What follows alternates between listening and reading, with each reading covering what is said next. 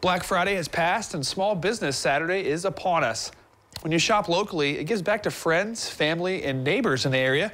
The owners put in long hours and passion into their businesses, and they appreciate any and all support they get from their community.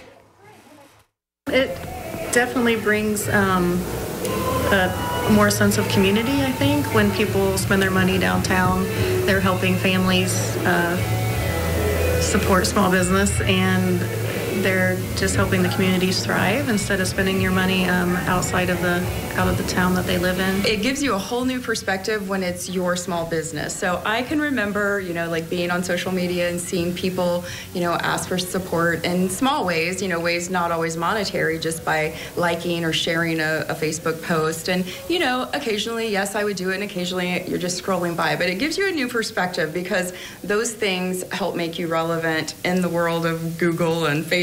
And so it is important, you know, and, and in a community like Lima, the, the size that we are, you know, we try to support one another, hopefully, and doing that just, you know, makes a difference in a lot of ways. Small businesses, they're one of the foundations uh, that help to create America.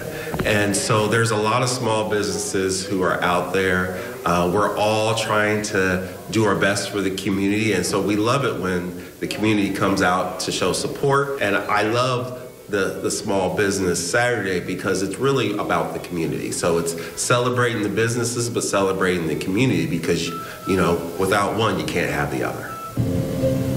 Business owners suggest the next time you need a product or service, consider supporting your local businesses.